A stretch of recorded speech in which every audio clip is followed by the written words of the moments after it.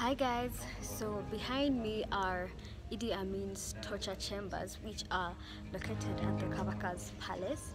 Um, you might be wondering how Amin's chambers come to be at the palace, but when when the king Mutesa was overthrown and he was in exile, Amin and Obote overtook his palace and they decided to turn this place into a torture chamber for people whom they hated.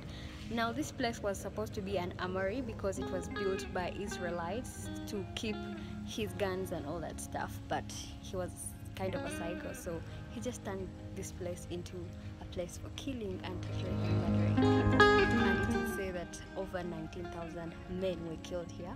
Apparently, women were not killed, were killed at a separate place. So imagine 19,000 men without counting women. It's really a sad I mean, this place has bad memories. But don't worry, we've been told there are no evil spirits here. You might think some horror stuff might happen, maybe like of someone who was tortured here and they attack us. No, it is said the place was cleansed and there are no evil spirits here. So let's just check it out. In 1971, Idi Amin hired Israelis hmm. to build him an armory hmm. where he would keep his fighting weapons. And this is what they built.